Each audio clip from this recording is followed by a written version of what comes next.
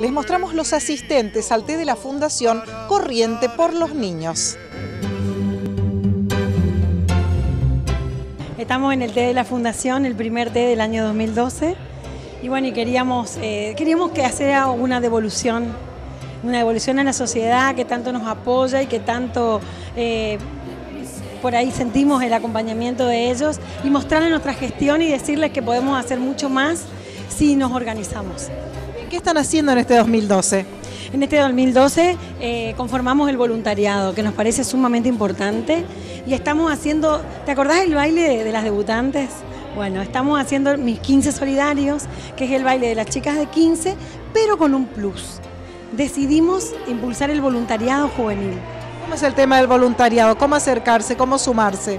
Al voluntariado uno puede sumarse anotándose en una lista que puede ser por mail y eh, sobre todo las chicas jóvenes tienen que tener una, mm, un permiso de los padres, que también está en nuestro sitio web el permiso, porque trabajamos conforme a la ley nacional 25.855 del voluntariado. Entonces queremos realmente impulsarlo, queremos que, que esto no quede en esta generación, queremos que siga. Se nota hoy hay mucha gente joven, además de una concurrencia total aquí en Victoria Plaza. Una concurrencia, pero estamos llenos, estamos felices. Hay chicas, jóvenes, están todas las chicas de mis 15 solidarios, hay hombres, hay juventud, hay gente de la tercera edad que también, como yo le dije, son nuestros sabios, que no se sientan discriminadas en la sociedad, que se sientan incluidas y que nos sirven un montón a nosotros para trabajar en la Fundación. ¿En algún lugar en especial están trabajando, llámese hospital de niños, llámese algún hogar? Estamos trabajando en el barrio La Olla con el voluntariado social y estamos trabajando fuera del hospital de niños, pero estamos trabajando con los enfermos oncológicos.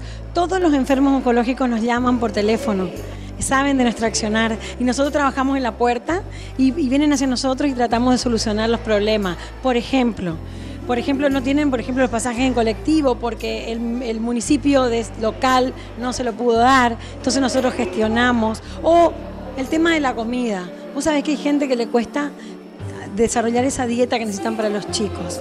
Nosotros estamos impulsando eh, eh, padrinos para esas familias y las llamamos familias del corazón.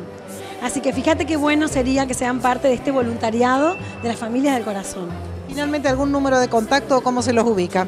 Sí, pueden escribir un correo a info arroba corriente por los niños y también pueden llamar al 3794 76 71 76. Gracias por recibirnos hoy. Gracias a ustedes.